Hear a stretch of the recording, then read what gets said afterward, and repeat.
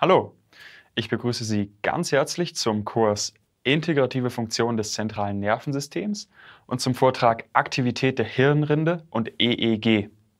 In dem nun folgenden Vortrag werden Sie lernen, wie die Potenziale, welche durch die Hirnaktivität entstehen, an, am Kortex abgeleitet werden können. Und daraus resultiert dann eben das EEG, das Elektroenzephalogramm.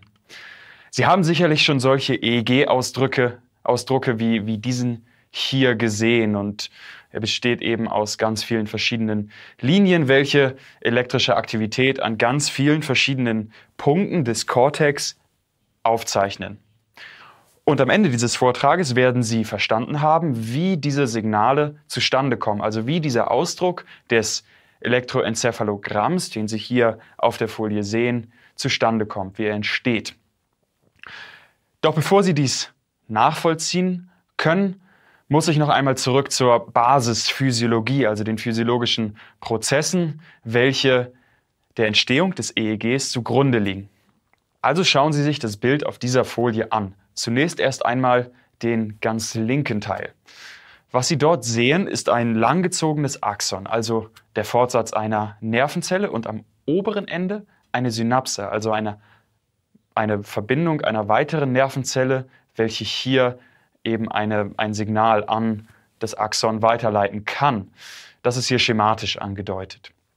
Was Sie auch sehen können, ist, dass an diesem Axon das Ruhemembranpotenzial besteht, welches auf der Innenseite des Axon eine negative Teilladung hat und auf der Außenseite des, Axon eine, des Axons eine positive Teilladung.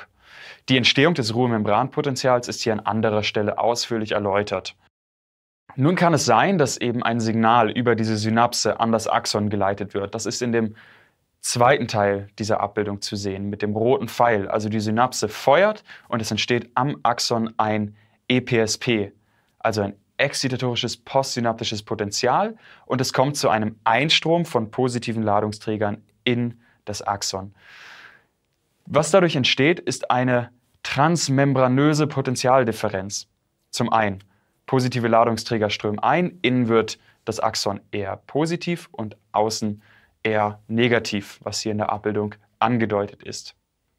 Nun ist es so, dass neben dieser transmembranösen Potentialdifferenz auch eine Potentialdifferenz im Verlauf, im Längsverlauf des Axons entsteht.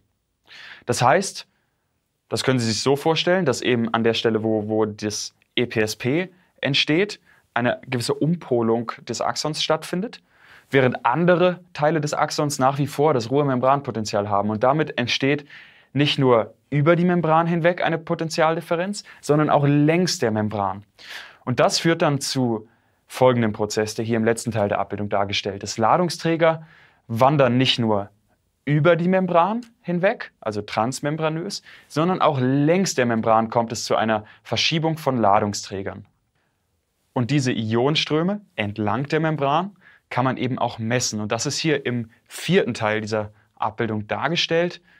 Sie sehen dort zum einen die in Rot markiert die Ionenströme, welche entlang der Membran sich ausbreiten. Und zum anderen sehen Sie hier auch das Messgerät, mit dem man eben diese Verschiebung von Ladungsträgern entlang der Membran messen kann. Und diese Verschiebung entlang der Membran ist die physiologische Grundlage für die Entstehung von Signalen im EEG.